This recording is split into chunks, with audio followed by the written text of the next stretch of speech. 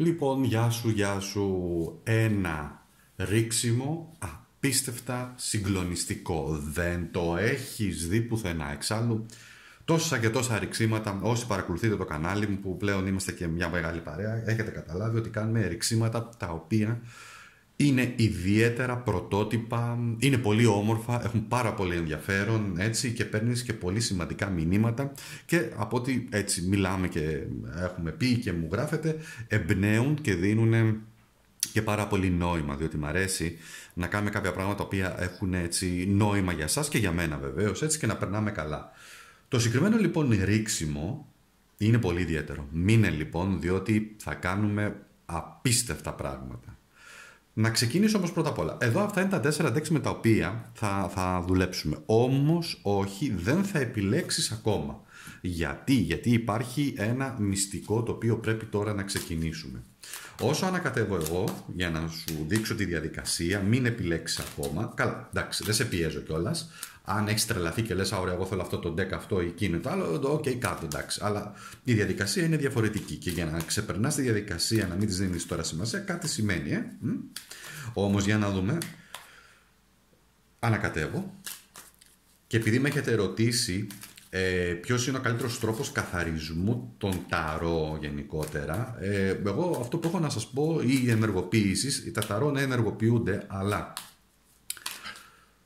Τέλος πάντων, μεγάλη ιστορία, δεν θα πω τώρα για να μην σπαταλήσω χρόνο. Ε, τα ταρό μπορούν να ενεργοποιηθούν αν τα πάρει κάποιος ένα-ένα, όλες τις κάρτες ένα-ένα, τις περάσει μέσα από την καρδιά και αρχίζει λίγο και βλέπει ε, τα, τις, ε, πώς το λένε, τις κάρτες και τις φέρει στην καρδιά και γίνεται μίση από την καρδιά. Τέλος πάντων, τώρα σας μπερδεύω, εντάξει.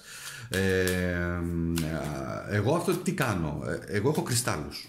Εντάξει, έχω κρυστάλλους. Αυτό που κάνω είναι απλά βάζω τους κρυστάλλους πάνω, αφήνω, ξεκουράζονται οι κάρτες και μετά όταν είναι τις ε, χρησιμοποιώ. Ένας καλός ενεργειακός καθαρισμός Ούτε αλάτι, να σας πω κάτι, εγώ δεν βάζω ούτε αλάτι, ούτε τα βγάζω έξω, ούτε κάνω. Είναι απλά να κατέβω πάρα πολύ καλά για να μπει στη δική μου την ενέργεια, να μπει στην άβρα μου δηλαδή και να καθαρίσουν έτσι οι κάρτες. Εγώ αυτό κάνω. Τώρα από εκεί και πέρα ο καθένας, ε, πώς το λένε, ό,τι θέλει ας κάνει και ας το δει και ό, όποια άλλη μεθοδολογία. Εντάξει, δεν, δεν θα κρίνω εγώ. Αλλά λέω εγώ τι κάνω, έτσι επειδή με ρωτήσατε. Απλά αυτό το πράγμα.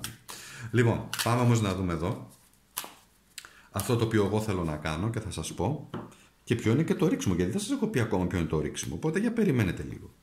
Θα μετρήσω 7 κάρτες. 1, 2, 3, 4, 5, 6. Αυτή είναι η 7η κάρτα και είναι ο... έχουμε έναν όμορφο υπότι μπαστούνι. Εντάξει. Όμορφος υπότης μπαστούνι. Αυτή η κάρτα λοιπόν θα την αφήσω εδώ. Σας μπέρδεψε λίγο, ε. Λες τι θα κάνει τώρα, θα την βάλει. Α την αφήσουμε εδώ. Άλλη εφτάδα, συνεχίζουμε. 1, 2, 3, 4, 5, 6 και αυτή είναι η έβδομη κάρτα.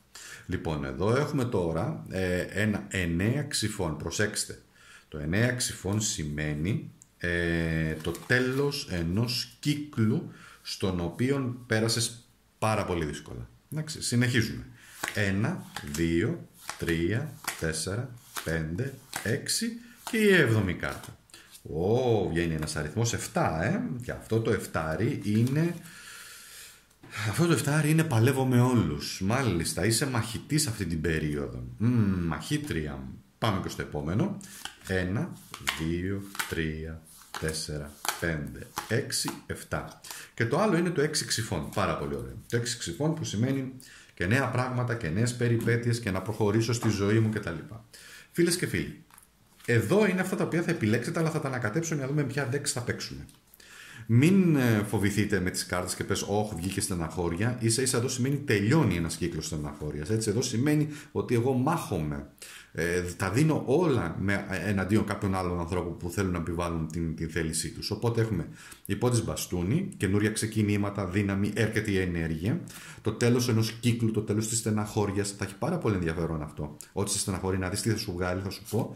Εδώ πέρα είναι το 7 μπαστούνι. Εν τω μεταξύ έχουμε και το 7 που ρίχνουμε γιατί θα είναι 7 οι κάρτες που θα ρίξουμε και είναι και 7. Ο αριθμός 7 παίζει έναν πολύ ιδιαίτερο ρόλο. Μείνε και θα σου το εξηγήσω. Εντάξει. 7 μπαστούνι λοιπόν εδώ. Εγώ εναντίον όλων. Αυτό σημαίνει.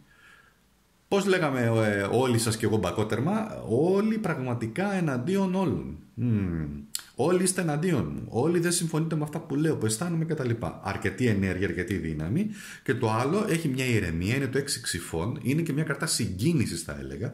Διότι εδώ σημαίνει μπορεί να είναι και ένα ταξίδι, μπορεί να είναι μια μετακίνηση, μπορεί να σχεδιάσεις ένα ταξίδι στους επόμενους, στον στο επόμενο χρονικό διάστημα, 6 εβδομάδες, όποιο, όποιο ταξίδι και είναι, το οποίο να είναι συγκίνηση. Επίσης σημαίνει και συγκίνηση αυτή η κάρτα. Σημαίνει παρελθόν, σχέσεις από το παρελθόν, μπορεί να είναι οικογένεια, μπορεί να είναι ένα παιδί που πας να το δεις μετά από καιρό έτσι ξέρω εγώ, ε, όλα αυτά τα πράγματα. Και είναι και δάκρυα χαράς εδώ, δεν είναι δάκρυα λύπης. Ε, μπορεί να είναι και ένα επίσης και μια απελευθέρωση από δάκρυα. Τέλος πάντων, δεν λέω κάτι άλλο. Απλά εντάξει, παρουσιάζω λίγο τις κάρτες για να καταλάβεις. Αλλά είναι η στιγμή που ήρθε να κάνεις κάτι καινούριο, να ξεκινήσεις και κάτι καινούριο με ηρεμία. Αυτές είναι οι κάρτες, έτσι. Τέσσερις κάρτες για, για αυτά τα decks και τις γυρνάω και θα σας πω τώρα επιλέξατε, γιατί με αυτό πρέπει να επιλέξετε. Τις επιλέξατε; Mm. Γι' αυτό σας λέω, πηγαίνετε πάλι λίγο πίσω αν είναι, γιατί εντάξει θα κάνουμε τώρα την ανάλυση μας και αυτά και το βιντεάκι. Αν θες μπορείς να πας λίγο πίσω να δεις τις επιλογές σου πάλι. Εννοείται ότι αν θέλεις μπορείς να επιλέξεις και με βάση τα ντεξ. Και δεν σε πιέζω, αλλά καλό θα είναι να επιλέξεις με βάση αυτό, αυτό εδώ πέρα που ανοίξαμε. Λοιπόν, και ξεκινάω τώρα να δω σε ποια, ε, ποια από αυτές τις κάρτες σε ποια deck θα αντιστοιχίσω για να ξεκινήσω και να σας πω και ποιο είναι και το τέτοιο. Εδώ λοιπόν σε, αυτή, σε αυτό το deck έχουμε που θα ξεκινήσουμε είναι το 7 μπαστούνι. Εδώ πέρα έχουμε τον υπότη στις Αιγυπτιακές. Εδώ πέρα έχουμε το τέλος του κύκλου στις πολύ ωραίες κάρτες ε, των στοιχείων να το πω έτσι. Τέλος της στεναχώριας και του κύκλου. Και το 6 ξυφών που είναι και τα καινούργια ξεκινήματα είναι στις σπέλες κάστρες Ταρό φανταστικά θα έλεγα. Οπότε τι κάνω. Εδώ. Οπα, μισό λεπτό. Εδώ. Εδώ. Και ξεκινάμε για να σας πω και ποιο είναι το ρίξιμο. Το ρίξιμο φίλες και φίλοι είναι πρωτότυπο. Είναι αποκαλυπτικό. Θα πάμε σε βάθος. Θα βγάλουμε απίστευτα νοήματα και πράγματα με τη βοήθεια του ταρό, με 7 κάρτες και λέγεται το, το ρίξιμο των πλειάδων. Οι πλειάδες, το ρίξιμο των πλοιάδων, λοιπόν, στο οποίο εδώ θα ανακαλύψουμε πάρα πολλά πράγματα. Είναι οι 7 αδερφές. Να πω όμως το εξής. Οι αρχαίοι Έλληνες και στην αστρολογία αλλά και οι νήστες και οι ιερείς έλεγαν ότι οι πλειάδες ρίχνουν φως πολύ λεπτά σωματίδια. Αυτά τα λένε οι αρχαίοι Έλληνες, έτσι. Δεν είναι λεπτά σωματίδια, πολύ λεπτές ενέργειες, οι οποίες λούζουν τον πλανήτη και φυσικά λούζουν και τους ανθρώπους και όσοι άνθρωποι είναι αφυπνισμένοι θα μπορέσουν να πιάσουν αυτές τις δονήσεις και να πάρουν τα μαθήματα, τη σοφία, τη γνώση, όλο εκείνο το φως το οποίο έρχεται από τις πλειάδες, αυτό έλεγαν, το φως που έρχεται από τις πλειάδες και θα μπουν σε βαθύτερα νοήματα και θα καταλάβουν πάρα πολλά πράγματα για το τι σημαίνει στον εαυτό τους και γύρω στον κόσμο. Οι Πλειάδες είναι 7 αδερφές, έτσι. Λοιπόν, είναι η Μέα, η οποία θα σας εξηγήσω όταν θα ρίχνουμε τι, τι σημαίνει, τι κάνει. Είναι η Ταϊγέτη, η Ηλέκτρα, η Στερόπη, η Κελενό, η Αλκιόνη και η Μερόπη. Εντάξει. Αυτά λοιπόν, αυτοί, αυτές λοιπόν οι, και οι αστρολογικές θα έλεγα κιόλας ε, ε, ε επιρροές θα τις βάλουμε εδώ πέρα και θα αρχίσουν αυτές οι 7 αδερφές, αυτό το ρίξιμο των πλοιάδων, να αποκαλύπτει πράγματα όχι μόνο για τη ζωή σου, για τον εαυτό σου και, το τι, και, και πού βρίσκεσαι και τι χρειάζεται, ας χρησιμοποιήσω αυτή, αυτή τη λέξη, τι χρειάζεσαι, για να προχωρήσει τη ζωή σου στο στόχο της ζωής σου. Εντάξει. Λοιπόν, ξεκινάμε λοιπόν με αυτό εδώ πέρα. Εδώ είναι το πρώτο deck, είναι 7, είναι 7 κάρτες που θα ρίξουμε και θα δεις. Θα δεις, θα δεις πράγματα και θάματα. Λοιπόν, ανακατεύω καλά όμως, για να πάρουμε τα μηνύματα. Ωραία. Ωραία, ωραία, ωραία. Λοιπόν, 7 λοιπόν οι πλειάδες, 7 αδερφές έχουν μυστικά πράγματα να αποκαλύψουν στην αστρολογία. Βέβαια αυτό είναι λίγο πιο μοντέρνο, ε, αλλά κάποιοι ειδικοί αστερισμοί παίζανε πολύ μεγάλο ρόλο και στην κλασική αστρολογία. Λοιπόν, ο Ορίωνας, ας πούμε, ο Σύριος, ε, έχουν μεγάλη σημασία για τους στην αρχαία Ελλάδα. Sorry που λίγο σταματάω, είναι διότι απλά μου έρχονται πληροφορίες στο μυαλό και προσπαθώ να τις επεξεργαστώ και να δω πώς θα σας τις μεταφέρω και αν θα τις μεταφέρω. Ε, αν δεν τις μεταφέρω δεν είναι για κακό, είναι διότι μπορεί κάποια πράγματα ε, να μην είναι έτοιμο το κοινό να τα ακούσει. Λοιπόν, προχωράμε όμως να δούμε το εξής. Πρώτη κάρτα. Ξεκινάμε φίλες και φίλοι. Πρώτη κάρτα. Η Μέα. Είναι η μεγαλύτερη αδελφή και σου λέει εδώ πώς σπαταλάς το χρόνο μόνη σου μόνος, όταν είσαι μόνη σου ή μόνος σου και είναι μέσα ένα, ένα κομμάτι που κοιτάμε τον εαυτό μας. Εντάξει. Και δεν είναι τυχαίο διότι μπαίνουμε και σε μία ηλιακή έκλειψη στο Σκορπιό με νέα σελήνη και τα λοιπά, που είναι πολύ αυτογνωσιακή. Ο Σκορπιός κανονικά στη θετική του δόνηση σημαίνει κοιτάζω μέσα την ψυχή μου και κάνω αυτογνωσία. Τώρα η αυτογνωσία στην πραγματική ζωή μπορεί να κάνω πράγματα, λέω τώρα. Κάνω yoga, πάω σε instructor, πάω σε coacher, πάω σε ψυχολόγο, πάω σε υποστηρικτή, πάω σε σύμβολο γάμου, πάω εκείνο, πάω σε γιατρό, πάω αυτό. Γενικά η υποστήριξη την οποία χρειαζόμαστε. Εντάξει, εδώ όμως έχει να κάνει με τα βαθύτερα της ψυχής μας. Αυτό το αποκαλύπτει η ΜΕΑ και έρχεται να σου πει που είναι ο πύργος. Μάλιστα. Θέλω να δεις κάτι όμως, έτσι. Δες, γι' αυτό το άφησα και κάτω να το δεις, πώς ο πύργος, και θα σου εξηγήσω τι σημαίνει ο πύργος, εντάξει, οι περισσότεροι σου το γνωρίζετε, βλέποντας και τόσο το αρώ πια και από το κανάλι μου και από άλλα κανάλια, πώς εδώ υπάρχει ανισορροπία. Πώς ο πύργος έρχεται και γκρεμίζει αυτά τα οποία εμείς πιστεύαμε μέσα μας. Ο πύργος δείχνει ότι εμπιστευτήκαμε λάθος ανθρώπους, παρόλο που το ένστικτό μας μπορεί να μας έλεγε όχι, μην το κάνεις. Παρόλο που μπορεί να μας έλεγε πρόσεξε τον αυτόν. Πρόσεξε την αυτή.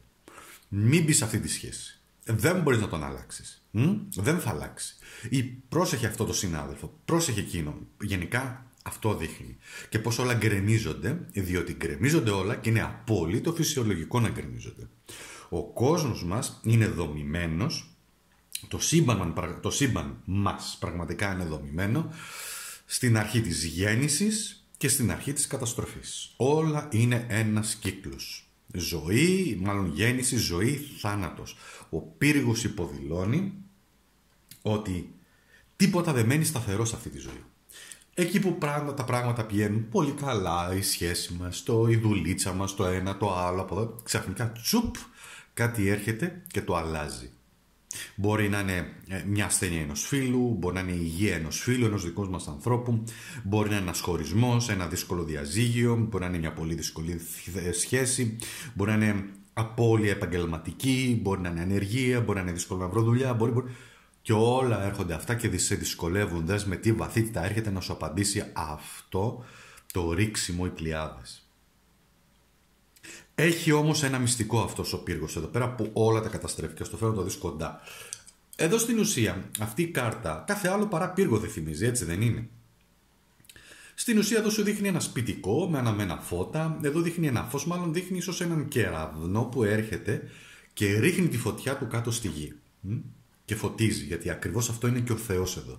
Εδώ είναι βέβαια Αστρολογικά είναι ο Άρης. Ο Άρης σημαίνει ο Θεός του πολέμου.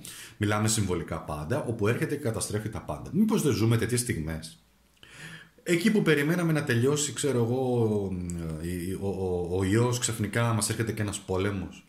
Ξαφνικά εκεί που υποτίθεται είχαμε ειρήνη, ξαφνικά έχουμε πόλεμο και όχι μόνο αυτό, πιεζόμαστε και από τους γείτονες. Δηλαδή μήπως όλα αυτά... Μ; Γιατί θέλει να σου δείξει ότι η ζωή είναι γεμάτη δυστυχώς, το ανθρώπινο είδος είναι δυστυχώς, όταν ζεις στη χαμηλότερη κατώτερη δόνηση, είναι γεμάτη δύσκολες και άσχημες ανατροπές.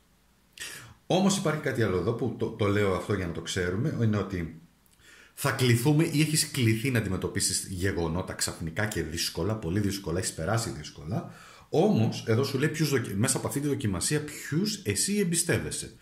Πού είναι οι φίλοι σου ή οι δικοί σου οι άνθρωποι όταν πέρνασε δύσκολα, ήταν κοντά σου ή φύγανε και τη λακίσανε, ε; Γιατί αυτό είναι που θέλει να σου πει. Και εκτός από αυτό, λέει και κάτι άλλο.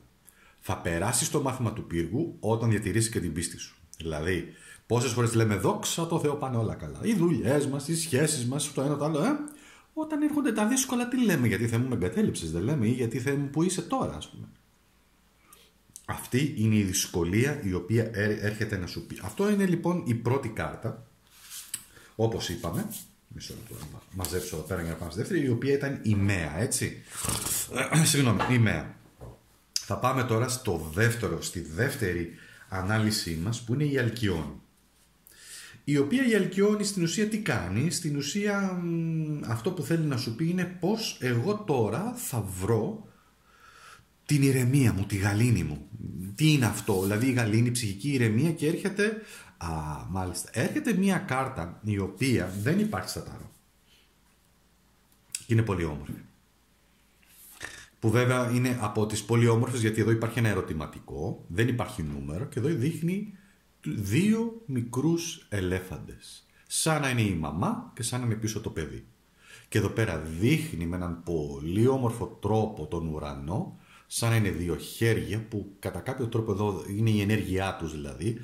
Αυτά φανταστείτε σαν σωματίδια, σαν φωτόνια αν έχετε υπόψη σας, τα οποία έρχονται και διαποτίζουν αυτή την όμορφη εικόνα. Μπορεί να είναι και κάτι σαν ηφαίστειο, ποιος ξέρει τώρα τι; Ο καθένας ότι βλέπει με τα δικά του μάτια. Αυτή η εικόνα που υπάρχει μόνο σε αυτά τα ταρό, εντάξει, αυτό το οποίο σου λέει είναι ε, ότι Πού θα βρεις εσύ την, την, τη γαλήνη σου, την ηρεμία σου; Το ερώτημα απευθύνεται σε εσένα.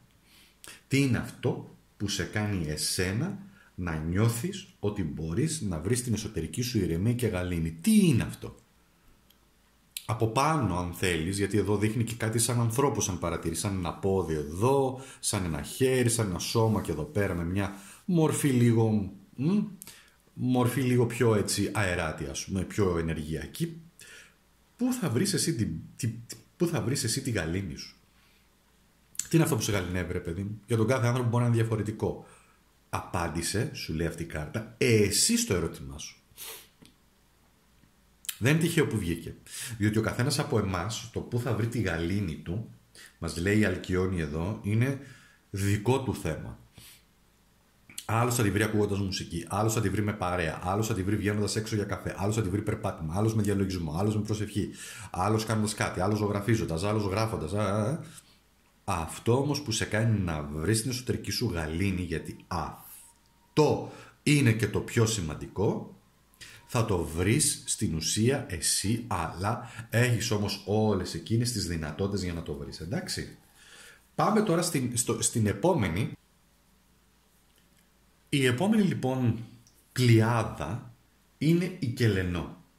Εντάξει, η οποία αυτή λέγεται και η σκοτεινή αδερφή πλειάδα. Ε. Αυτή όμως είναι αυτή που θα σου δείξει τώρα ποια είναι η σκιά του εαυτού σου. Ποιος είναι μέσα η πλευρά σου εκείνη η σκοτεινή που πρέπει να πέσει φως. Σας είπα, είναι από τα πιο όμορφα και δυνατά ρηξίματα. Και αυτό που μας έρχεται είναι το 3 πεντάκτηνο. Το 3 πεντάκτηνο είναι μια από τις πολύ καλές κάρτες γενικότερα.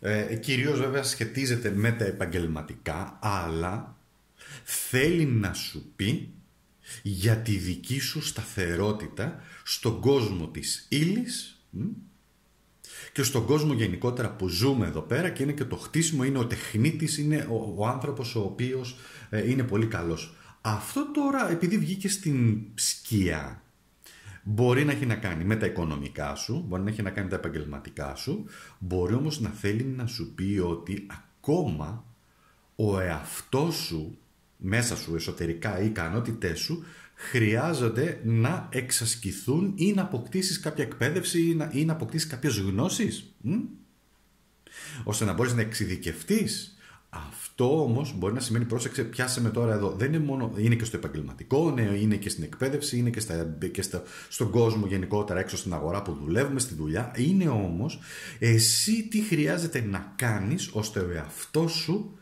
να εξασκηθεί, να αγωνιστεί. Μ; Λέμε τώρα. Έχω θέμα με το να καταλαβαίνω τους ανθρώπους. Αυτό πρέπει να το χτίσεις. Δες, εδώ είναι ο χτίστης. Θέλω να το δεις από κοντά, στο φέρω κοντά, να το δεις. Έχω θέμα με το να φτιάχνω σταθερές σχέσεις. Έχω θέμα με το να τα πηγαίνω καλά στη δουλειά. Έχω θε... Διότι πάντα, πάντα, θα πω το εξής, εννοείται ότι υπάρχει και ο εξωτερικός κόσμος και οι εξωτερικές επιρροές και είναι η πολυπλοκότητα, αλλά ένα κομμάτι ισχυρό είναι και το δικό μας. Ο, ο, ο εαυτός μας, πώς εμείς απαντάμε στους άλλους, πώς εμείς πλασαριζόμαστε στους άλλους, πώς επικοινωνούμε στους άλλους, τι θεωρούν οι άλλοι για εμάς κτλ. Εντάξει. Τρία πεντάκτηνο όμως σημαίνει και ένα άτομο το οποίο έχει πολλές ικανότητες. Αυτό είναι σημαντικό. Έχεις πολλές ικανότητες που ίσως τις έχεις υποβαθμίσει. Αυτό σου βγάζει λοιπόν η Κελενό εδώ πέρα. Μ; Ωραία. Πάμε στο επόμενο που είναι η, ηλε... η ηλέκτρα. Η ηλέκτρα είναι εκείνη, δες τώρα στο εσωτερικό όταν πάμε βαθιά, είναι εκείνη η πλειάδα αδερφή, η οποία εξαφανίζεται μετά από μία περίοδο όπου εμείς είμαστε σε θλίψη ή θρηνούμε κάτι. Η ηλέκτρα λοιπόν σε βοηθάει πώς να αντιμετωπίσεις τη στεναχώρια σου ή τη θλίψη σου. Πόσο σημαντικό, ε! Πόσο σημαντικό, πόσο σημαντικό και βγαίνει ο αυτοκράτορας. Λοιπόν, ο αυτοκράτορας μου βγήκε ανάποδα όμως. Ο αυτοκράτορας σημαίνει δύναμη, σημαίνει πάλι άρης, ε, κρυός κυρίως και έχει να κάνει με τη σοφία και με τη γνώση. Το ανάποδο μπορεί να σημαίνει ότι χρειάζεται να ξεφύγουμε από τα πλαίσια του εγωισμού και του εγωκεντρισμού. Να ξεφύγουμε, να είμαστε σαν εκείνα τα παιδάκια τα οποία ζητάνε με αιμονές, με αιμονή, ξέρω εγώ, το παιχνιδάκι εκείνο, ενώ δεν θέλουν οι γονείς να το πάρουν γιατί μπορεί να μην έχουν και λεφτά, ρε παιδί μου. Και λέω, Όχι, εγώ θέλω εκείνο, εγώ θέλω αυτό. Μα δεν έχουμε λεφτά. Εγώ θέλω αυτό. Ε, είναι σαν να επιμένεις σε κάποια πράγματα και αυτή η κάρτα μπορεί να γίνει πολύ αιμονική, πάρα πολύ εγωκεντρική, πολύ σχηρογνώμων, χωρίς να υπάρχει λογική. Άρα λοιπόν αυτό που σου ζητάει εδώ πέρα τώρα, αυτή η κάρτα, η τέταρτη κάρτα, η ηλέκτρα, είναι να βρεις για να ξεπεράσεις μάλλον τον, τη, τη στεναχώρια σου, τη θλίψη ή να ξεφύγεις από τυχόν αιμονικές, να το, ας το πω έτσι, ιδέες που είναι κολλημένες, έχουν πεισμός εκεί, εκεί. Και συνέχεια και πάνε και έρχονται και πάνε. Και έρχονται και φυσικά είναι προϊόν της δικής σου στεναχώριας. Αυτό υπάρχει σε ένα σημείο και στην ψυχολογία δεν θα επισέλθω βέβαια σε αυτά τα χνάρια τώρα, σε αυτά τα νερά που λένε της ψυχολογίας, αλλά δείτε τα έχουν και ψυχολογία μέσα πάρα πολύ. Όταν ε, θέλει να σου πει ότι όταν επιμένουμε πάρα πολύ σε κάτι το οποίο όμως δεν έχει νόημα, Μπορεί εσύ να επιμένεις σε μια επανασύνδεση και ο άλλος με τίποτα ή σε μια σχέση που δεν τραβάει με τίποτα και εσύ εκεί όχι θα επιμείνει. Και στεναχωριέσαι και δυστυχείς. Λέω απλά ένα παράδειγμα. Βεβαίως ο καθένας είναι ελεύθερος, ελεύθερη να κάνει ό,τι θέλει στη ζωή του. Ναι, έχεις το δικαίωμα να επιμένεις. Όμως πάντα υπάρχει ένα κόστος. Τι απόφαση θα πάρεις. Φύγεις έχει κόστος. Μείνεις έχει κόστος. Αναλογήσου, σκέψου λογικά, γιατί αυτό σου λέει εδώ, ποιο είναι το κόστος οποιασδήποτε πράξη θέλεις εσύ να πάρεις. Εντάξει. Λοιπόν, για να προχωρήσουμε τώρα. Η, η επόμενη κάρτα είναι η στερόπη. Η στερόπη λοιπόν ή αλλιώς η αστερόπη σε κάποιες περιπτώσεις είναι κατά κάποιο τρόπο εκείνη η πλειάδα αδερφή η οποία θέλει να σου δώσει τώρα ένα μήνυμα που θα σε εμπνεύσει. Εντάξει; Ένα μήνυμα έμπνευσης. Είναι το αστέρι, ξέρεις τώρα, είναι το στερέωμα. Μάλιστα και μου βγήκε ανάποδα. Είναι το 9, είναι το 9 ξυφών. Το 9 ξυφών μου βγήκε ανάποδα, ούτως ή άλλως είτε όρθιο είτε ανάποδα, η δυναμική του είναι η ίδια, το νόημά του είναι το ίδιο, επειδή όμως βγήκε σαν κομμάτι έμπνευσης, θέλει να σου πει, ε, σαν ένα μήνυμα ελπίδας δηλαδή, ότι ήρθε η στιγμή για σένα, εν πάση περιπτώσει, που επέλεξες το πρώτο κομμάτι, να τελειώσει η περίοδος όπου εσύ πλέον είσαι δυστυχισμένος, δυστυχισμένη. Και αυτό θα το κάνεις μόνος σου ή μόνος σου. Πολλές φορές μόνοι μας μπαίνουμε σε μια κατάσταση στεναχώριας και δυστυχίας. Είναι ίσως η πρόκλησή μας. Ίσως, ναι, φυσικά θα μου πεις, βέβαια δεν μπορώ να με στεναχωριέμαι όταν περνάω αυτό δύσκολο, όταν δεν έχω να πληρώσω, όταν δεν έχω αυτό, όταν δεν έχω στον ήλιο μοίρα. Ναι, ναι, ναι, ναι, ναι, ok. Okay. Συμφωνώ. Εδώ όμως το μήνυμα της ελπίδας είναι κάνε κάτι να κλείσει ο κύκλος. Το καταλαβαίνεις; Κάνε κάτι να κλείσει ο κύκλος. Θα μου πεις ωραία και πώς κλείνουμε τον κύκλο; Να σας πω κάτι. Μπορεί να κλείσει με πάρα πολλούς τρόπους. εξαρτάται από πολλά πράγματα. Όμως όταν το πάρεις απόφαση όμως, όταν βρεις ενέργεια, όταν βρεις δύναμη, μπορείς να κλείσεις αυτόν τον κύκλο τον δύσκολο, ο οποίος είναι ένας κύκλος άγχους, αγωνίας, στεναχώριας, δεν κοιμάσαι τα βράδια, είσαι σε μια δύσκολη περίοδο, κάνοντας, εν πάση περιπτώσει, παίρνοντας κάποιες πρωτοβουλίες ή κάνοντας κάποια πράγματα. Τα πάντα όλα πρώτα ξεκινάνε από εμάς. Αυτό είναι, ένα, αυτό είναι ένα θέμα το οποίο πάντα υπήρχε και γενικότερα και στις εσωτερικές τέχνες αλλά ό,τι και αν κάνουμε είτε ταρό, είτε αστρολογία, αριθμολογία, ό,τι θέλετε ρούνους, όλα λένε η ενέργεια φοριέται στο σώμα. Εμείς θα κάνουμε δηλαδή να το αλλάξουμε. Εμείς παίρνουμε κάποιες πληροφορίες. Στο χέρι μας είναι πώς θα ορίσουμε εμείς τη μοίρα μας. Το πεπρωμένο μας. Ναι, Έχουμε, ξέρω εγώ, ένα πεπρωμένο με ένα συγκεκριμένο αριθμό. Έχουμε πεπρωμένο με, αστρολογικό, με ένα συγκεκριμένο αστρολογικό χάρτη μας λέει κάποια πράγματα.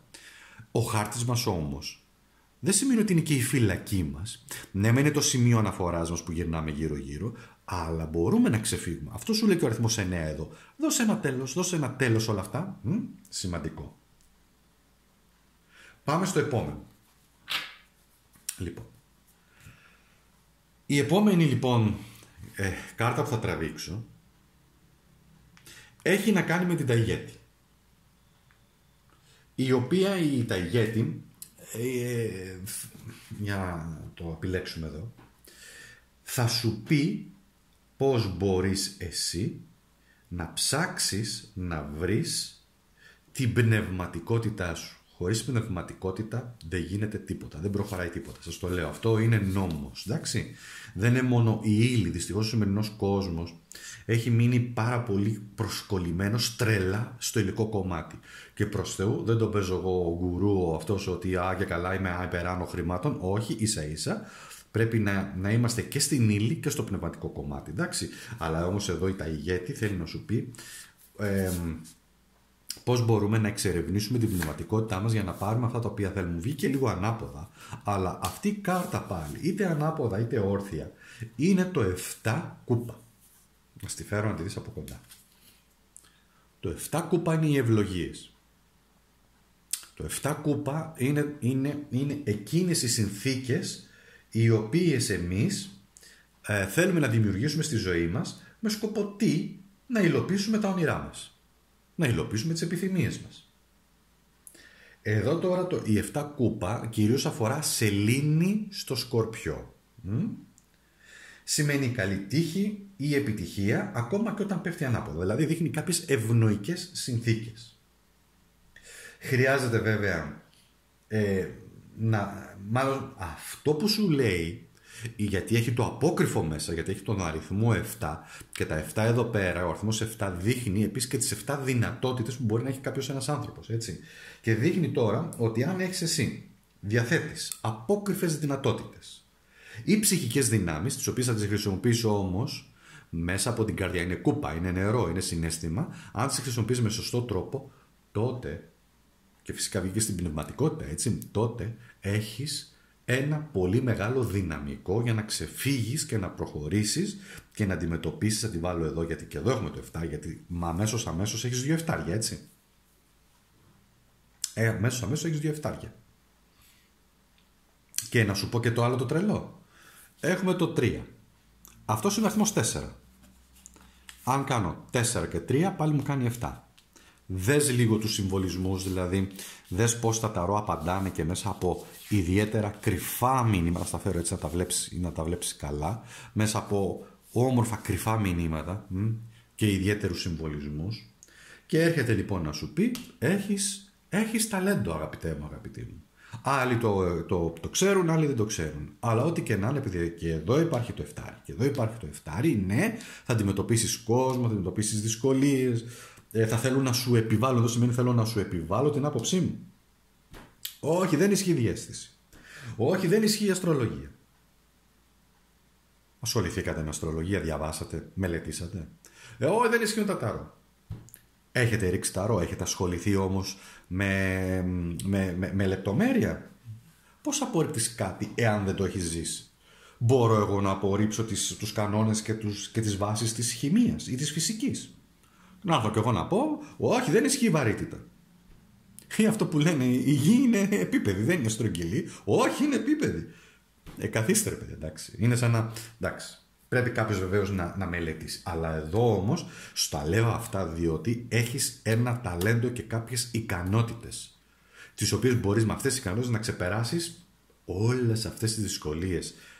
Είναι αυτό ένα ευλογημένο ρίξιμο. Λείπει άλλη μια κάρτα, η έβδομη κάρτα, αλλά το ξαναλέω, αυτό για σένα έχει τις δυσκολίες του, αλλά είναι ένα πραγματικά ευλογημένο ρίξιμο για σένα για να σου δώσει δύναμη και ελπίδα να προχωρήσεις. Και η επόμενη κάρτα είναι η Μερόπη. Λοιπόν, αυτή είναι τώρα η χαμένη αδερφή που λένε. Δεν θα σας πω τώρα σε μυθολογία και τα λοιπά πώς και τι, γιατί θα ξενυχτήσουμε που λέει ο λόγος, αλλά τι χρειάζεται εσύ να επαναφέρεις ή να ανακαλύψεις τη ζωή σου ή να ψάξεις. Πρόσεξε πόσο βαθύ είναι αυτό. Τι χρειάζεται να ψάξεις ρε παιδί μου στη ζωή σου; Τι χρειάζεται να ψάξω; Σε όλα σου τα ερωτήματα έτσι. Σε θέματα αγάπης, σε θέματα επαγγελματικά, σε θέματα έρωτα, σε θέματα μεταφυσικής, σε θέματα... Και τι χρειάζεται να ψάξεις και είναι το 15 άκτηνο. Μάλιστα. Το 15 άκτηνο είναι μία από τις πολύ όμορφες κάρτες Δες το εδώ, δες το, θέλω να το δεις. Μέσα από, δες πόσο όμορφη κάρτα είναι αυτή. Δες, θέλω να το δεις, θέλω να περάσει στο υποσυνείδητό σου. Δες αυτή την πανέμορφη κάρτα. Θες είναι η οικογένεια, θες ήταν η οικογένειά σου, εσύ ήσουν παιδάκι, το παιδάκι αυτή ήταν η γονή σου. Θες είναι τα όμορφα πράγματα, θες είναι αυτά που σου έδωσαν οι γονείς σου, που κληρονόμησες από αυτούς, το DNA τους, τις ικανότητές τους, το, το χαρακτήρα τους κάπου, τη, τη δύναμή τους, Ό,τι και, και ένα σπίτι να σου δώσουν και μια κληρονομιά, παρόλο που μπορεί να έχεις, λέω τώρα, άσχημες σχέσεις, είναι, είναι βάλσαμο. Τι να ψάξω τώρα εδώ, σου λέει. Τι είναι το 15 τι θέλει να σου πει αυτή η κάρτα. Για λίγο προβληματίσου. Τι σου έρχεται εσένα να πεις, ας πούμε, 15 θα μου πεις, Μα δεν ξέρω ταρό. Ok, okay, εντάξει, πάμε διαισθητικά να αναπτύξουμε λίγο και τη διαίσθησή μας. Όταν είναι να μάθουμε ταρό, ε, χρησιμοποιούμε και δεν θα μάθουμε βέβαια ταρό, δεν θα σας το κάνω αυτό, εντάξει, σίγουρα. Αλλά τι θέλει να σου πει όμως το 15 άκτηνο. Αφροδίτη στην Παρθένου. Είναι χρηματικά ποσά, είναι κληρονομιές. Ακόμα και ανάποδα να πέσει, δεν χάνει δύναμη, χάνει πολύ λίγο δύναμη. Σημαίνει ότι σημαίνει ότι Sorry που λίγο κολλάω, αλλά μου έρχονται διάφορες φλασιές τώρα, έτσι, στο, ε, ε, εικόνες και πληροφορίες που προσπαθώ να τις επεξεργαστώ. Σημαίνει πως ο τροχός, γιατί είναι και ο αριθμός 10, σημαίνει ο τροχός, αυτός εδώ ο τροχός. Θυμάστε, γιατί και στα τάρο υπάρχει το 10 που είναι ο τροχός της τύχης, έτσι. Μήπως κάτι ετοιμάζεται να γυρίσει; Δείτε το εδώ. Προς εσάς, έτσι. Προς το θετικό σας. Μήπως δείχνει κάτι αναπάντεχο το οποίο θα έρθει και γρήγορα; Αν και τα πεντάκτηνα πάντα δηλώνουν μία καθυστέρηση, γιατί το πεντάκτηνο, η γη δηλαδή, και στην αστρολογία ισχύει αυτό, έχουν μία καθυστέρηση. Κάτι χρειάζεται εσύ να ψάξεις για το επόμενο διάστημα. Το μικρότερο είναι 10 μέρες. Το, το, το, ο μεσαίος χρόνος είναι 10 εβδομάδες, το επόμενο είναι και 10 μήνες θα μπορούσα να πω και στα επόμενα 10 χρόνια, γιατί είναι γη. Θα μου πεις μεγάλο το διάστημα και ναι, μέχρι 10 χρόνια τώρα ποιος ζει, ποιος πεθαίνει, σίγουρα έτσι. Ε, και ναι, χτύπα ξύλο, αλλά το λέω σαν, σαν, σαν γεγονός. Αλλά εδώ το 15 άκτηνο, εμένα αυτό που μου βγάζει, μου βγάζει χαρά. Εμένα αυτό μου βγάζει. Να αναζητήσεις τη χαρά, τι σε κάνει χαρούμενο. Και αυτό μπορεί να το διεκδικήσεις και από τους γονείς σου να σε βοηθήσουν σε κάτι ίσως. Μπορεί να είναι μια οικονομική ενίσχυση, λέω. Μπορεί να είναι μια συμβολή. Ε; Μπορεί να είναι οι φίλοι σου, οι φίλες σου, μπορεί να είναι ο, ο σύζυγός σου, ο σύντροφός σου, η, η αγαπημένη σου, ο έρωτας στη ζωής σου, όλα αυτά. Είναι η χαρά. Να αισθανθείς χαρά. Βεβαίως εδώ σημαίνει και κάνω και οικογένεια. Λίγα δευτερόλεπτα το αφήνω για να πάμε λοιπόν στο επόμενο, έτσι. Το, το πήραμε το μήνυμα πόσο συγκλονιστικό ε, και πόσο ιδιαίτερο και βαθύτατο θα έλεγα συγκλονιστικό ρίξιμο. Απίστευτο συγκλονιστικό ρίξιμο. Δεν ξέρω αν έχετε την ίδια άποψη, την ίδια ιδέα, αλλά για μένα, επειδή με κάνει να αισθάνομαι πάρα πολύ καλά και πολύ ξεκούραστος, βλέπω λοιπόν ότι υπάρχει και μια ροή γενικότερα στο ρίξιμο. Πάμε στο επόμενο. Τι έχουμε εδώ, φίλες και φίλοι; Να το. Η δεύτερη σου επιλογή, όσοι επέλεξαν δηλαδή αυτή την κάρτα, που είναι ο υπότης Μπαστούνι. Υπότης Μπαστούνι. Δυνατός, δυνατή, ακμαίος, ακμαία, γιατί μιλάμε και για άντρες και γυναίκες. Μετακινήσεις σε άλλους τόπους, ταξίδια, επαγγελματικά, κατακτήσεις, γνωρίστηκε, έγνωσες ίσως τον έρωτα της ζωής στο εξωτερικό, μια δουλειά στο εξωτερικό, κατάκτηση, δύναμη. Βέβαια σου λέει και ένα άλλο μήνυμα ότι μέχρι πού θα φτάνεις εσύ για να πετύχεις τα όνειρά σου ή τους σκοπούς σου. Εντάξει, και ξεκινάμε τώρα. Πάμε λοιπόν που είναι η ΜΕΑ. Ο εσωτερικός μας εαυτός. Τι είναι αυτό που χρειάζεται εσύ να δεις σχετικά με τον εαυτό σου; Τα ξύφη πάνε και έρχονται. Εννέα ξυφών. Στεναχώριες. Έλα, δες το δόνατο. Εννέα ξυφών. Είναι στεναχώριες. Μία περίοδος που έχεις περάσει κι εσύ, όπου δυσκολεύτηκες πάρα μα πάρα πολύ. Μόνο εσύ γνωρίζεις πραγματικά η ψυχή σου τι αγωνίες πέρασες. Βέβαια αυτή η κάρτα έχει μόνο ένα θετικό. Να ανέβεις, να τα ξεπεράσεις. Να εκφραστείς επίσης, να πεις τις αλήθειες σου.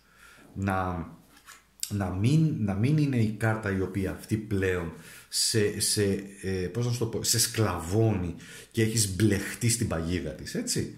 Καλά, όχι στην κάρτα, ενώ στην κατάσταση τώρα. Γιατί η κάρτα, μάλλον η κάρτα εκφράζει μια κατάσταση. Ωραία, λοιπόν, πάμε στο επόμενο. Η αλκιόνη, λοιπόν. Πώς θα βρεις την εσωτερική σου ηρεμία, Πώς θα βρεις εσύ την εσωτερική σου γαλήνη; Και είναι μάλιστα απίστευτο. Άλλο ένα εννιάρι. Εννέα κούπα, φίλες και φίλοι. Το εννέα κούπα είναι μία από τις πολύ θετικές κάρτες. Είναι, είναι η σελήνη του ηχθείς. Είναι θέματα ψυχής, στα οποία θέλει η ψυχή να εκφραστεί και να βγει με αλήθειες, να βγει από τη σκοτεινιά. Είναι μια από τις πολύ τυχερές κάρτες βέβαια. Δείχνει την ικανοποίηση, άρα για να βρεις εσύ αυτά τα οποία εσένα σε γαλινεύουν είναι να δεις τι σε ικανοποιεί, ποιες είναι οι επιθυμίες σου. Μην μου βάλεις επιθυμίες θέλω να κερδίσω 45 εκατομμύρια, εντάξει. Μη μου βάλεις επιθυμία, θέλω τον Brad Pitt ας πούμε, να έρθει και να τα φτιάξουμε. Ή αν είσαι άντρας, δεν ξέρω ποια θεά ας πούμε, γυναίκα υπάρχει. Ή θέλω να αποκτήσω ένα σπίτι 15 εκατομμύριων, ας πούμε, βιλάρα.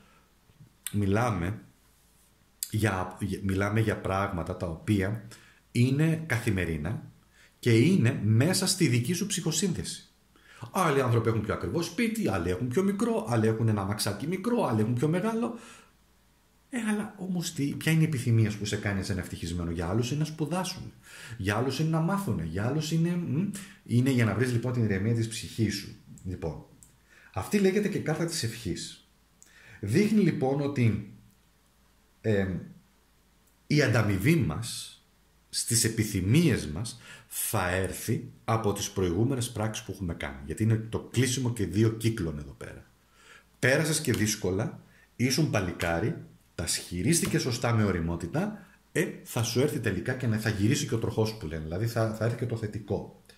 Είναι από τις πιο τυχερές κάρτες γενικότερα τον ταρό αυτή, εντάξει, και συμβολίζει την αγάπη, την καλή τύχη, την ολοκλήρωση, την ευτυχία, η οποία θα κατακτηθεί όμως με κόπο. Και εδώ είναι ο κόπος. Λοιπόν, πάμε στο επόμενο. Η επόμενη κάρτα είναι η κελενό, που έχει να κάνει με εκείνη τη σκοτεινή πλευρά του εαυτού μας. Εντάξει, και η σκοτεινή πλευρά του εαυτού μας είναι ένας υπότης ξυφών, μάλιστα. Η σκοτεινή πλευρά του εαυτού μας είναι αυτά τα οποία θέλουμε να κατακτήσουμε. Αυτή η κάρτα συνήθως έχει έναν πολύ ε, να το πω έτσι, σκληρό χαρακτήρα. Δεν είναι και από τις πολύ θετικές, ας το πούμε, άσχετα αν εμείς το λέμε, ναι, πάω να κατακτήσω κτλ. Είναι ο ουρανός τους διδήμους γενικότερα, σαν, σαν αστρολογική έτσι, προ, προσδιορισμό και γενικά δείχνει ότι ο εαυτός σου έχει εκείνη, αν θέλεις, τη σκοτεινή πλευρά που είναι ότι έχεις πιάσει πάτο και προσπαθείς να ξεφύγεις. Εντάξει. Ε, χρησιμοποιείς ό,τι μέσο υπάρχει και δύναμη και προσωπική δύναμη και να βγεις με δύναμη κτλ. Αλλά πολλές φορές τα ανα, ανακατεύονται τα πράγματα και μπορεί να τα κάνεις χειρότερα. Θέλει προσοχή. Θέλει οριμότητα εδώ. Ο ουρανός στους διδήμους δείχνει αστρολογικά το ξαφνικό, στους διδήμους που είναι και η επικοινωνία και η δίδυμη που σημαίνει ότι υπάρχει και ανισορροπία. Η δίδυμη στην ουσία τι, τι, σημαίνει, ποια είναι η αποστολή τους, είναι η ισορροπία του συνείδητου και του, του υποσυνείδητου. Αυτό σημαίνει η δίδυμο. Δεν είναι το διπρόσωπο που λένε. Απλά το κεφάλι τους μέσα είναι τόσο γρήγορο και πολλές φορές οι σκέψεις τους και ο τρόπος που επικοινωνούν και κάνουν είναι έτσι σαν να βλέπεις πολλές φορές και δύο ανθρώπους. Ε, σαν να σου λέει, από τη μία να είναι δηλαδή ήρεμος και να σου λέει, και από να, να αρχίσει να ανεβαίνει η ενέργεια. Κατάλαβες. Αυτό είναι που σημαίνει τους διδήμου. Είναι πάρα πολύ έξυπνοι άνθρωποι και έχουν μια απίστευτη εσωτερική, ένα εσωτερικό υπολογιστή που κάνει γρήγορους υπολογισμούς. Αυτό όμως εδώ πέρα που σου λέει είναι ότι χρειάζεται εσύ να βρεις χρειάζεται εσύ να βρεις το, τον εαυτό σου στο κομμάτι επίσης που πρέπει να το κατακτήσεις κιόλας. Δηλαδή, η σκοτεινή σκιά του εαυτού σου, ποια είναι εκείνα τα κομμάτια τα οποία πιστεύεις ότι χρειάζονται βελτίωση. Κάποιος μπορεί να πει πάνω χάρη, ε, ορμάω και είμαι πολύ παρορμητικός. Ε, κάποιος άλλος μπορεί να πει είμαι πάρα πολύ αυθόρμητος αυθόρμητη και αυτά που λέω πολλές φορές δεν τα σκέφτομαι. Αυτό έχει ένα τίμημα. Τα πάντα έχουν ένα τίμημα φίλες και φίλοι, τα πάντα. Είτε μιλήσεις έχει τίμημα, είτε δεν μιλήσεις πάλι έχει ένα τίμημα. Εξαρτάται κατά πόσο έχουμε σοφία και γνώση να απαντάμε στις προκλήσεις των αλλωνών. Κάποιοι λένε εγώ θα απαντάω, Κάποιοι λένε εγώ δεν θα απαντάω, κάποιοι λένε δεν απαντάω. Ε, ε, ε, εξαρτάται. Εδώ όμως επειδή έχει να κάνει και με ομιλία, πάντως είναι μια κάρτα που θέλει μια ιδιαίτερη προσοχή και θέλει και μια αυτοσυγκράτηση. Αυτός είναι ο εαυτός σου ο εσωτερικός που βράζεις μέσα σου. Θες να πεις πράγματα, θες να ορμήσεις, θες να τον πιάσεις τον άλλο το γιακά, να τον κούνει και να του πεις δες. Γιατί υπάρχουν και καταστάσεις που μας βγάζουν και εκτός σε αυτού, έτσι. Αλλά αυτό όμως εδώ είναι και κάτι το οποίο χρειάζεται μια ιδιαίτερη προσοχή. Ωραία, πάμε στο επόμενο τώρα. Η, η τέταρτη κάρτα λοιπόν είναι η ηλέκτρα. Είναι τι χρειάζεται για να ξεπεράσεις εσύ την στεναχώρια σου ή τυχόν αυτά τα οποία εσένα σε στεναχωρούν. Και μας βγαίνει μια κάρτα η οποία είναι ο ανόητος. Μάλιστα. Άκου να δεις φίλε μου. Φίλοι μου, φίλε μου. Ανόητος ή τρελός. Ανόητος, αυτές οι έννοιες συνυπάρχουν και οι δύο σε αυτή την κάρτα. Ναι, είναι τα καινούργια ξεκινήματα. Ναι, είναι ότι μπορείς να ξεκινήσεις πάντα κάτι καινούριο, έτσι. Ναι, ότι αν θες να ξεφύγεις από τη στεναχώρια ή όλα από αυτά που σε στεναχωρούν ή από ανθρώπους που σου ορμάνε κιόλας εδώ, μπορεί να σημαίνει ότι μου επιτίθενται. Μα γιατί μου επιτίθενται, Γιατί με παρεξηγούν. Εγώ τους κάνω κάτι. Γιατί, μου, γιατί με προδίδουν, ας πούμε. Εγώ είμαι καλός άνθρωπος. Λέμε το, είμαι καλός άνθρωπος και παρόλα αυτά όμως με προδίδουν. Ναι, ok. Okay. Ο ανόητος ή ο τρελός. Αυτές οι έννοιες υπάρχουν, επαναλαμβάνω, και οι δύο. Ανόητος είναι κάποιος ο οποίος γνωρίζει πολλά πράγματα, αλλά εκφράζεται με πολύ χαζό τρόπο και δεν το καταλαβαίνουν. Δεν συμφωνεί η, η ροή του λόγου του με τη σκέψη του. Μπορεί κάποιος να είναι διάνοια, έτσι. Και να λέει παλαβομάρι, δεν το καταλαβαίνει κανένας. Κάποια στιγμή είχα παρακολουθήσει παλιά, τέλος πάντων, ένα μάθημα φιλοσοφίας και μίλαγε ένας καθηγητής, πάρα πολύ μορφωμένος βεβαίως, Σόρια δεν καταλάβαινα τίποτα. Δεν καταλάβαινα τίποτα. Γιατί η γλώσσα που χρησιμοποιούσε, η σκέψη που χρησιμοποιούσε και μην μου πει κανείς, Α, ήταν η βαθύτητα της σκέψης. Όχι. Ήτανε η δημιουργική ασάφεια. Η άλλη έννοια που έχει εδώ πέρα αυτή η κάρτα είναι ο τρελός. Πρόσεξε, τι θα σου πω τώρα. Μπορείς να τα βάλεις με τον κλέφτη. Μπορεί να τα βάλεις με έναν άλλον άνθρωπο στο δεν ξέρω τι. Με τον τρελό του χωριού θα τα βάλεις. Δεν θα νικήσεις ποτέ. Εδώ λοιπόν είναι και όταν μας πιάνει η τρέλα που φτάνει και σε ανοησία. Το πιάνεις τώρα, το καταλαβαίνεις. Πολλές φορές στη ζωή μας Βέβαια έχει και καλά στοιχεία, πολύ καλά στοιχεία και θα σας τα εξηγήσω. Αλλά θέλω να σου πω όμως ότι αυτό που προσέχουμε γενικότερα για να φύγουμε τώρα και από τη στεναχώρια μας και μ, να ξεφύγουμε από όλα αυτά είναι ότι χρειάζεται στη ζωή ρίσκο όταν οι άλλοι μας λένε τρελή ότι θα πάμε να το κάνουμε αυτό το πράγμα. Ξεκίνα από το μηδέν σου λέει εδώ. Ξεκίνα από το μηδέν. Θα ακουστεί σε κάποιους ότι είσαι τρελός, τρελή, σε κάποιους θα ακουστεί ότι είσαι ανόητος, ανόητη. Ξεκίνα όμως. Ό,τι είναι αυτό που σου αρέσει. Είναι, ότι αυτό είναι που θα σε βγάλει εσένα. Μπορεί να θες να, να πας να μάθεις ζούμπα που λέει ο λόγος. Να πας. Μπορεί να σου πει, μα αυτή, ο άλλος, η φίλη, ο, ο σύζυγος, τι μα αυτή την ηλικία, ζούμπα αυτά, τι πας καλά, ξέρω τι. Μπορεί να θες να μάθεις γαλλικά. Αγγλικά, δεν ξέρω τι, μια ξένη γλώσσα. Αυτό σου αυτό. Αρχίζουν, δηλαδή, αρχίζουν μετά ε, των αλωνών η κριτική και η αρνητική κριτική που σε κρατάνε πίσω. Ξεκίνα, βέβαια ξεκίνα με λογική σου λέει εδώ. Εδώ θα βάλεις, θα πάρεις το ρίσκο, αλλά θα βάλεις και τη λογική σου. Εντάξει. Αν να ξεκινήσεις, λέω τώρα γαλλικά, θα πας στο τέταρτο επίπεδο, παρόλο που μπορεί να τα έχεις κάνει, θα ξεκινήσεις από το πρώτο, σιγά σιγά, θα δείξεις επιμονή, να δεις αν σ' αρέσει. Αυτό βέβαια εξαρτάται και σε άλλα πράγματα. Ακόμα και στον έρωτα. Θες να ξεκινήσεις μία νέα ερωτική περιπέτεια, θα βάλεις και τη λογική.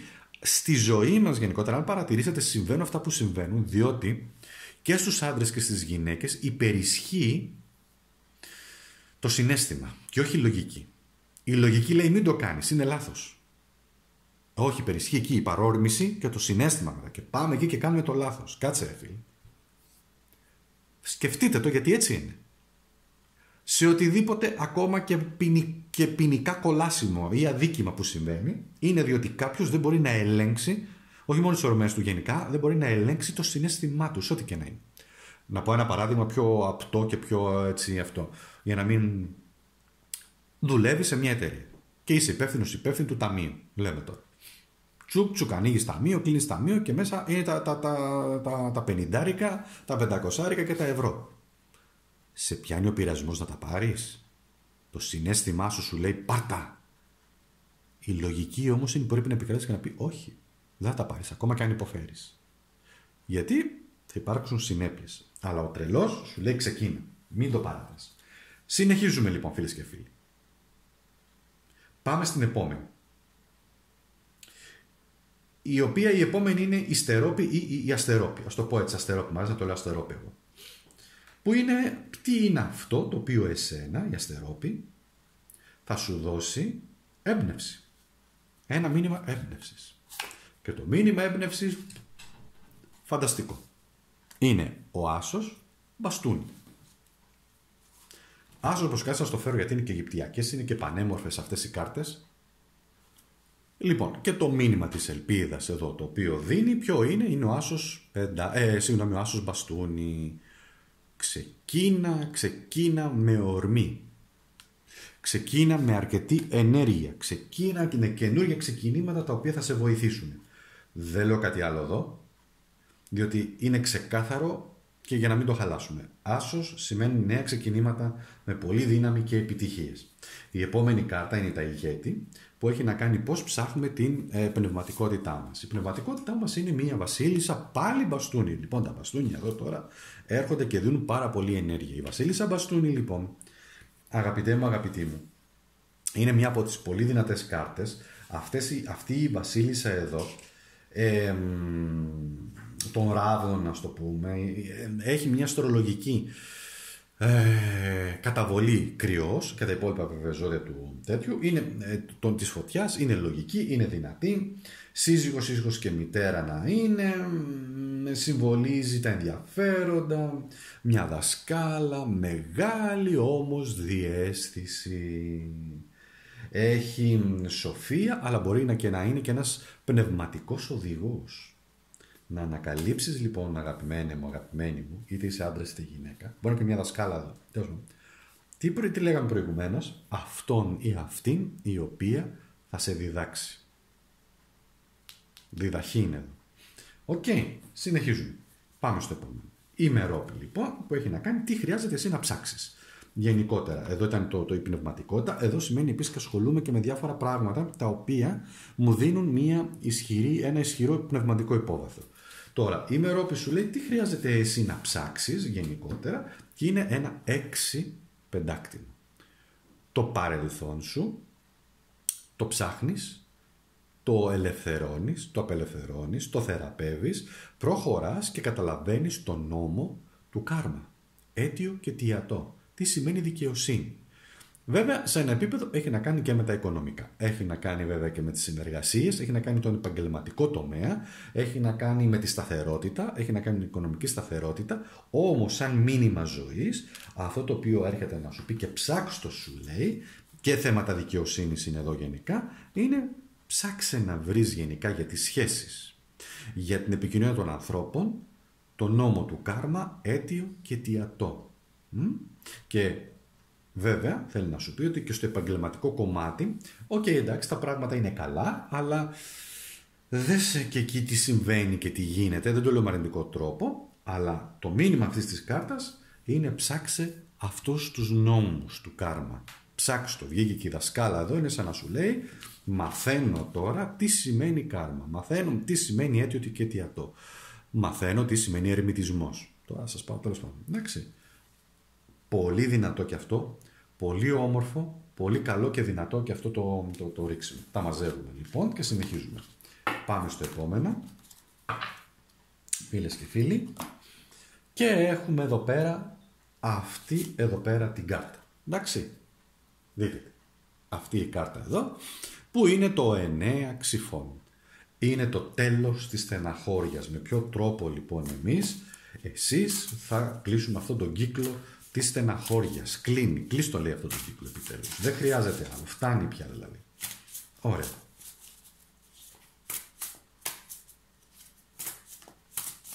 Για να δούμε λοιπόν. Η πρώτη κάρτα, όπως είπαμε, είναι ο εαυτός μας και πώς μπορούμε εμείς, να, να εδώ πέρα, είναι το τρία ξυφό, βγαίνουν ξύφοι εδώ. Αυτή η κάρτα είτε ανάποδα, είτε σε ίσιο, η καταστροφή έχει γίνει. Προδοσίες. Δύσκολη κάρτα. Έχεις προδοθεί και εσύ. Έχεις περάσει και εσύ τα πάμε. Έχεις περάσει πολύ δύσκολες καταστάσεις, έτσι. Έχεις περάσει μέσα από από προδοσίες, από ασυνεννοησία, έχεις περάσει ε, μέσα από ε, αρνητικά αγώνες, χωρισμούς, τρίτα πρόσωπα, ε, ψέματα, απάτες, όλα εδώ είναι. Όλα είναι εδώ. Ουρανός στο ζυγό. Ξαφνικά γεγονότα και ανισορροπία στις σχέσεις. Αυτό θέλει να σου πει. Οπότε αγαπημένε μου, αγαπημένη μου, αυτό το οποίο βγαίνει αμέσως αμέσως και σου λέει αυτή η κάρτα είναι ότι στεναχωριέσαι, διότι έχεις περάσει μέσα από αυτές τις καταστάσεις. Προδοσία είναι πάντως στα επαγγελματικά, στα αιρετικά, όπου θέλεις. Λοιπόν, συνεχίζουμε όμως. Άρα έρχεται εδώ. Πρέπει όμως να δεις και εσύ τώρα γιατί σου συμβαίνει. Ναι, φταίνει και άλλοι δεν λέω. Εσύ όμως σε ποιο βαθμό φταίς, τι επέτρεψες να ανοιχτεί με τη συμπεριφορά σου, έτσι; Τι άφησες να σε εξαπατήσουν ή να σε κοροϊδέψουν; Προχωράμε. Το δεύτερο είναι η αλκιόν. Πώς θα βρεις την ειρήνη σου, έτσι, πώς θα βρεις ειρήνη μέσα σου. Και έχει βγει το 10 ξυφών. Ω, ολαλά, ολαλά. Η ειρήνη θα έρθει όταν πάρεις απόφαση, γιατί εδώ είναι παίρνω απόφαση, γιατί το 10 ξυφών είναι και αυτό μία από τις πολύ δύσκολες, πάρα πολύ δύσκολες κάρτες, έτσι. Το 10 λοιπόν ξυφών, ή σπαθιών αν θέλεις, είναι ο ουρανός τους διδήμους.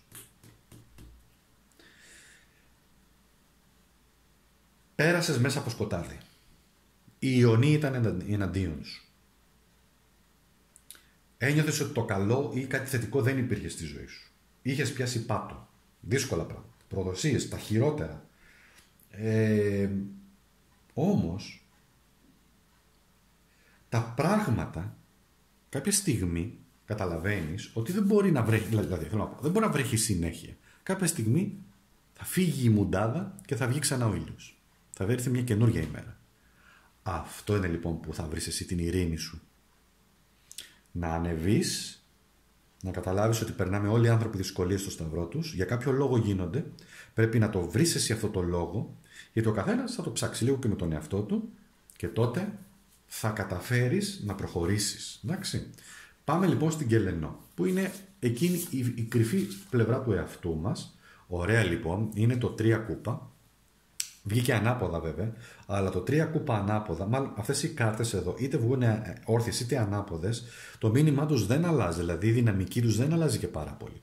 Το 3 κούπα ανάποδα, το 3 κούπα είναι η χαρά. Σου βγήκε ανάποδα γιατί τι χαρά να νιώσεις έτσι όπως είσαι. Κατάλαβες, αυτό θέλω να σου ταταρώ. Τι χαρά να νιώσεις όταν έχεις περάσει εδώ προδοσίες, πράγματα, σε έχουν γι' αυτό, έχεις όλη αυτή τη στεναχώρια και είσαι δηλαδή να σε κλαίνει οι ρέγγες που λένε. Συγγνώμη για την έκφραση, αλλά αυτό είναι η γέλη. Τρία κούπα. Τρία κούπα σημαίνει επιτέλους πρέπει να βρω τη χαρά και να μεταμορφώσω τον εαυτό μου και από αυτό εδώ πέρα το 3, βγαίνει το 3 εδώ έτσι, και από αυτό το 3 να πάω σε αυτό το 3. Είναι η εσωτερική μεταμόρφωση του εαυτού μας λοιπόν. Εντάξει. Λοιπόν, αυτό μπορεί να γίνει. Αυτό είναι κάτι το οποίο μπορείς, μπορούμε να, να, να, να σου το πω έτσι, να, να τα καταφέρεις. Φυσικά και μπορείς να τα καταφέρεις. Λοιπόν, πάμε στο επόμενο να δούμε. Είναι καλή κάρτα γιατί έρχεται να σε στηρίξει εδώ. Άρα αυτό χρειάζεται να δεις εσύ στην, μέσα σου, στην πλευρά σου που είναι η κρυμμένη χαρά και να βγει προς τα έξω.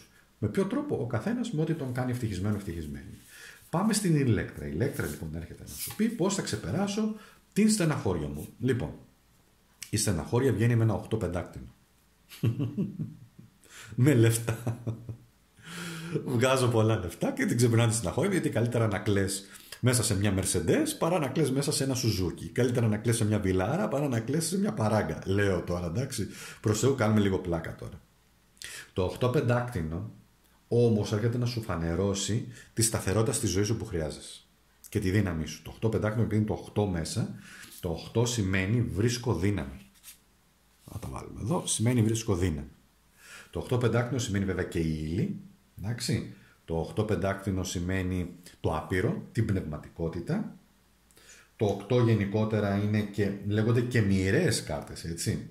Λοιπόν, και θέλει να σου πει ότι, ε, ρε παιδί μου, εντάξει, επειδή εδώ τώρα έχουμε ερμή στην Παρθένο, σημαίνει Ερμής επικοινωνώ, αναλύω τη σκέψη μου και αυτά τα οποία θέλω να κάνω και γενικά θέλω να σου πει ότι βρίσκω και μια ήσυχη περίοδο και κοιτάζω τη δουλειά μου, κοιτάζω τον εαυτό μου.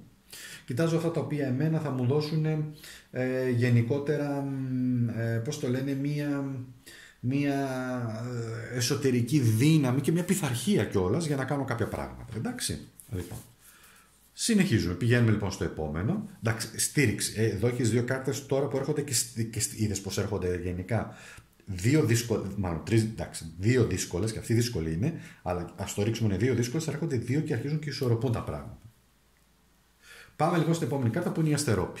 Η αστερόπη λοιπόν, αυτό το οποίο θέλει να σου πει είναι, μάλιστα, είναι το, α, μάλιστα, λοιπόν, είναι το 5 πεντάκτηνο. Το 5 πεντάκτηνο τώρα έχει μια άλλη έννοια που είναι πολύ πνευματική κάρτα και κυρίως μιλάει για τον πνευματικό μαρασμό, ας το πούμε, ή επίσης και για τον οικονομικό μαρασμό. Εδώ μπορεί να σημαίνει ότι είχασες δουλειές, απολύσεις, πράγματα, οικονομικές δυσκολίες, όλα αυτά παίζουν. Λοιπόν, δεν είναι όμως από τις πολύ χειρότερες κάρτες ε, όσον αφορά στο, στα, στα πεντάρια, αλλά θέλει μια πολύ ιδιαίτερη γενικότερα προσοχή, έτσι. Εδώ αυτό που θέλει να σου πει είναι ψάξε να βρεις με ποιο τρόπο μπορείς να έχεις, ας το πούμε, πίστη. Να έχεις την πνευματικότητά σου. Αυτό είναι το κύριο μήνυμα εδώ και εννοείται και ότι προσπαθείς να βρεις... Τι προσπαθείς να βρεις; Να ξεφύγεις μάλλον προσπαθείς. Ναι, προσπαθείς να ξεφύγεις. Προσπαθείς να ξεφύγεις από όλα αυτά που, σε κάνουν, που σου δίνουν μιζέρια είτε άνθρωποι είτε καταστάσεις. Αυτό είναι το κλειδί σου. Προσπαθείς να ξεφύγεις από όποιον, όποια και ό,τι σου δίνει μιζέρια. Και πρέπει να ξεφύγεις, πρέπει να φύγεις. Εντάξει. Και δεν είναι τυχαίο που είναι ο αριθμός 5 στην πέμπτη πλειάδα που είναι η αστερόπη. Η οποία θέλει να σου πει ότι το, το, το μήνυμα της ελπίδας είναι βυγές από οποιαδήποτε μιζέρια. Ακόμα και από τη δικιά σου, έτσι. Ή των αλλωνών ή τη δικιά σου. Τα ηγέτη λοιπόν, που σημαίνει πως χρειάζεται να ψάξω την πνευματικότητά μου Μάλιστα. Εδώ τώρα που είναι βγει, έχει βγει το 9 μπαστούνι. Το 9 μπαστούνι είναι από εκείνες τις κάρτες που σημαίνει βεβαίως ολοκλήρωση κύκλων, ολοκλήρωση όλων εκείνων των ύπουλων πράξεων απέναντί μας από ανθρώπους τους οποίους τους είχαμε εμπιστευτεί αλλά παρόλα αυτά όμως μας βάλανε σε μια διαδικασία να πολεμήσουμε. Εντάξει, αυτό σημαίνει. Είναι ο πολεμιστής εδώ ο οποίος συνεχίζει και πολεμάει. Άρα, άρα λοιπόν. Η πνευματικότητά σου είναι να καταλάβεις ότι οι αγώνες και οι μάχες που έχεις δώσει δεν έχουν πάει στράφη. Σε προδώσαν, γιατί είναι μια κάρτα προδοσίας αυτή, ναι. Δολοπλοκίες από τους οικείους, έτσι, ύπουλα, πράγματα, ε, ε, προδοσίες, απιστίες, όλα αυτά παίξανε πάρα πολύ μεγάλο ρόλο σε σένα, αλλά συνέχισε να πολεμάς, μην το βάζεις κάτω. Βγες από τη μιζέρια και μην το βάζεις κάτω. Και η Μερόπη έρχεται να σου πει τι χρειάζεται εσύ να ψάξεις και χρειάζεται να ψάξεις, να το, η μεγάλη ιέρια. Είτε είσαι άντρας είτε γυναίκα, πρώτα απ' όλα έχεις τα δικά σου μυστικά, δεν χρειάζεται οι υπόλοιποι άνθρωποι να τα γνωρίζουν, εντάξει. Έχεις επιλογές και δείχνει και τις τρεις φάσεις της σελήνης. Νέα σελήνη, γεμάτη σελήνη και ε, η σελήνη η οποία βρίσκεται σε μείωση φωτός ας το πούμε. Η μεγάλη αίρια είναι ένα καλό ρίξιμο, σημαίνει και βοήθειες και από άλλους ανθρώπους ή η γυναίκα η οποία σου μπορεί να, να κρατήσει μυστικά και να στα αποκαλύψει, δεν βγήκε σε ανάποδη θέση ευτυχώς, αλλά αυτό το οποίο σου λέει ψάξε και για εκείνα τα μυστικά Μάλλον σου λέει να βλέπεις το κανάλι μου τακτικά. Αυτό λέει. λοιπόν, πέρα από αυτό όμως, θέλει να σου πει ότι ψάχνεις να βρεις νόημα. Και με κάποιο τρόπο συντονίζεσαι τρεις μέρες μετά από οποιαδήποτε φάση της Ελλήνης. Θυμήσου το. Είτε Νέα Σελήνη, είτε Πανσέλινος, είτε μείωση φωτός της Ελλήνης, τρεις μέρες μετά συντονίζεσαι με κάτι και κάτι θέλει να σου πει. Αλλά η μεγάλη αίρια όμως είναι εκείνη η οποία καταλαβαίνει πολλά πράγματα, έχει δύναμη, είναι αληθινή, είναι ξεκάθαρη, είναι κρυστάλλινη και αυτές είναι οι ιδιότητες που πρέπει να έχεις. Είτε είσαι άντρας είτε γυναίκα, να είσαι μέσα σου κρυστάλλινη ψυχή, ξεκάθαρη, αληθινή και δεν χρειάζεται όλοι οι άνθρωποι, οι υπόλοιποι να γνωρίζουν και τι σχεδιάζεις και τι κάνεις. Κράτα πράγματα για τον εαυτό σου. Εντάξει, ωραία. Πάει και αυτό. Πολύ δυνατό, πάρα πολύ δυνατό και πολύ ξεκάθαρο ρίξιμο. Και πάμε στο επόμενο φίλες και φίλοι. Στην επόμενη επιλογή μας. Ωραία. Η οποία είναι το 6 ξυφών. 6 ξυφών σημαίνει πηγαίνω και προχωράω για καινούρια πράγματα. Σημαίνει μια απελευθέρωση. Σημαίνει το κλάμα ρίχνω δάκρυα, αλλά απελευθερώνω. Είναι δάκρυα απελευθέρωσης. Γιατί έχει πολύ νερό εδώ. Είναι το ήρεμο μυαλό, δηλαδή ηρέμησα. Πολλές φορές, παιδί μου, με κάποιοι, με, που το βλέπουμε, κάποιοι άνθρωποι κλαίνε, μετά ξεσπάνε και ηρεμούν και είναι καλύτερα. Είναι τα δάκρυα της ψυχής αυτά εδώ. Βέβαια έχει να κάνει με το παρελθόν μας, έχει να κάνει με σχέσεις, έχει να κάνει με ταξίδια, με προορισμό, έχει να κάνει ότι με τη μετακίνηση γενικότερα, αλλά είναι η στιγμή για ένα καινούριο ξεκίνημα. Είναι από τις καλές κάρτες. Πάμε όμως να δούμε τώρα λίγο και τι έχουν να μας πούν. Η πρώτη κάρτα είναι η Νέα, που είναι ο εσωτερικός μας εαυτός και είναι η Σελήνη. Η Σελήνη, αγαπητέ μου, αγαπητή μου, είναι μία από τις πολύ δυνατές κάρτες, αλλά η Σελήνη όμως κρύβει και πάρα πάρα πολλά μυστικά. Μπορεί να γίνει απατηλή, έτσι. Ε, μπορεί να σημαίνει μια γυναίκα εδώ στη ζωή σου που παίζει πολύ μεγάλο ρόλο, είτε κορίτσι, είτε γυναίκα, είτε μεγάλης ηλικίας, Λοιπόν, αυτό που σημαίνει είναι τα μυστήρια και προσέχουμε. Προσέχουμε τι λέει η φαντασία μας και τι είναι η πραγματικότητα. Πολλές φορές δεν φτιάχνουμε πλάνα, σενάρια στο μυαλό μας και φανταζόμαστε δράκους με φίδια, ε; ότι ό,τι μου είπε τι έγινε αυτό, εκείνο, το άλλο, ενώ στην ουσία τα πράγματα δεν είναι έτσι. Αυτό θέλει πολύ μεγάλη προσοχή, αλλά και από το άλλο, είναι εδώ, δεν κυνηγάμε πεισματικά τρελές ιδέες. Άρα λοιπόν για τον εαυτό μας προσπαθούμε να έχουμε μία λογική να ελέγξουμε τι συμβαίνει στο πραγματικό επίπεδο και να προσέχουμε να μην χτίζουμε προσδοκίες πάνω σε αυταπάτες. είναι μια περίοδο, μάλλον έχεις περάσει από αυταπάτες, έχεις περάσει από δυσκολίες, έχεις περάσει από άλλα σου λέγανε κιόλας, μπορεί να σου λέγανε άλλα, σου φτιάχνανε το μύθο, έτσι.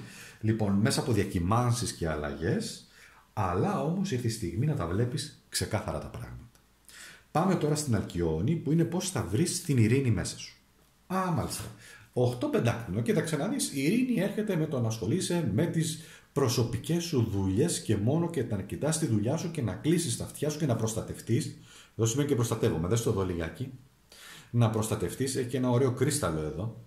Να προστατευτείς από αρνητικές γενικότερα ενέργειες ανθρώπων οι οποίοι το μόνο που θέλουν να κάνουν είναι απλά να σε διαβάλουν και να σε, πώς το λένε, και να μη σου λένε την αλήθεια, ε, ασχολήσου με τον εαυτό σου. Αυτό λέει εδώ πέρα. Μόνο σου, μόνη σου, αλλά ασχολήσου με τον εαυτό σου, ασχολήσου με τα δικά σου πράγματα. Η επόμενη είναι η Κελενό, που είναι ποια είναι εκείνη η σκοτεινή ίσως πλευρά του εαυτού μας και ένας υπότης ξυφών, προσοχή, όταν μπαρουτιάζεις. Αυτή είναι η σκοτεινή σου. Νευριάζεις, σε φέρνουν... Κοίτα, εδώ υπάρχουν δύο επιλογές ή είσαι πολύ συγκρατημένος, συγκρατημένο και δεν το δείχνεις, αλλά μέσα σου βράζεις πραγματικά, ή, γίνεται, ή πραγματικά ξεσπάς και γίνεται πανικός. Τα, τα, τα κάνεις όλα λαμπόγια.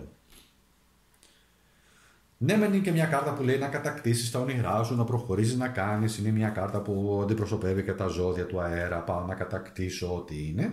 Αλλά εδώ όμως σου λέει ότι είναι ο σκοτεινός εαυτό σου. Υπάρχει ένας εαυτό ο οποίος είναι έτοιμος να εκραγεί. Και με κάποιο τρόπο χρειάζεται αυτό μια θεραπεία λίγο ας το πούμε έτσι θεραπεία, τώρα δεν ξέρω διαλογισμός, που θα περπατήσεις, θα, που θα σου δώσει κάποια δύναμη για να ηρεμήσεις. Ε, κάποιο, κάποια έτσι, να, να, να αισθάνεσαι εσύ μια εσωτερική ηρεμία μέσα σου. Πάμε στην ηλέκτρα. Πώς ξεπερνάω τη θλίψη Και είναι ο μάγος. Μια πολύ δυνατή κάρτα. Και ο μάγος έχει να σου πει γνωρίζω. Ο μάγος έχει μέσα τον Ερμή που είναι και ο πλανήτης της ε, της δομημένης σκέψης, είναι ο πλανήτης της γνώσης, είναι ο πλανήτης της μετακίνησης και ο μάγος εδώ για να γίνει κάποιος μάγος σημαίνει ότι αρχίζει και αποκτά εμπειρίες και αρχίζεις και γνωρίζεις τον εαυτό σου, ε, ψυχολογείς καλύτερα τις καταστάσεις, τους ανθρώπους, τι συμβαίνει, τα βάζω λίγο διαφορετικά τώρα, βλέπετε έχω ένα άλλο χτίσιμο εδώ. Ε, και στα προηγούμενα decks έκανα ένα άλλο χτίσιμο, εδώ κάνω ένα άλλο χτίσιμο. Ο μάγος λοιπόν θέλει να σου πει ότι ψάχνω να βρω γνώσεις και τούτη πραγματικά συμβαίνει γιατί έτσι θα ξεπεράσω και εγώ αυτά τα οποία με στεναχωρούν. Γιατί τελικά μπορεί αυτό που με στεναχωρεί να μην έχει και νόημα. Να είναι απατηλό. Και ο μάγος το ξεκαθαρίζει. Ο μάγος στέλνει φως και το ξεκαθαρίζει γιατί έχει δύναμη.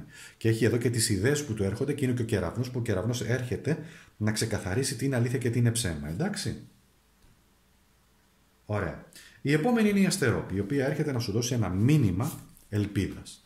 Και είναι η αυτοκράτηρα. Πολύ δυνατό μήνυμα. Έλα τώρα εντάξει, πολύ καλά. Η αυτοκράτηρα θα σου μιλήσει για εσωτερική δύναμη, για οριμότητα, για γνώσεις, για τη θηλυκή σου πλευρά, για διέστηση, για καλές σχέσεις, γιατί η Αφροδίτη σημαίνει έχω και καλές σχέσεις και με ανθρώπους και καλή επικοινωνία και καλή φιλία και όλα αυτά.